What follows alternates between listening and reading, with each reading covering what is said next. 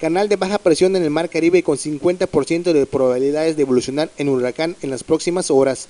La vaguada cercana a la costa norte de la península de Yucatán hasta la mañana de hoy mantenía una probabilidad de evolución del 30%, sin embargo la última información del centro de huracanes, esta tiene 50% de posibilidades de evolucionar en un ciclón. Este canal de baja presión se, se ubicaba o se ubica hoy en la mañana sobre el noroeste del Mar Caribe, lo que es el este de los, del Golfo de México, hasta la península de la Florida. Bueno, este canal de baja presión, pues el Centro Nacional de Huracanes hasta ahorita ha eh, mantenido el, una probabilidad mediana que pueda evolucionar a un sistema tropical. Asimismo, el canal de baja presión, en el cual ha ocasionado fuertes precipitaciones al norte del estado, continuará provocando la entrada de aire marítimo tropical con moderado a fuerte contenido de humedad, lo que originará la permanencia de lluvias moderadas, chubascos y actividad eléctrica en todo el estado. Este canal de baja presión ha estado originando la, o sigue originando la entrada de aire marítimo tropical con moderado a fuerte contenido de humedad,